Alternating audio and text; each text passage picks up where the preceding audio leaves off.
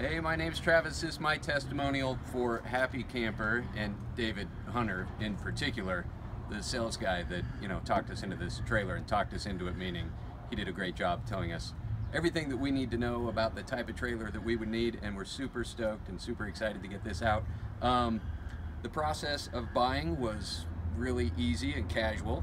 Um, the process of financing was really easy and no pressure at all and they walked us around, showed us how everything works. We got their business cards, so if you know we forget how everything works, they said to give them a call.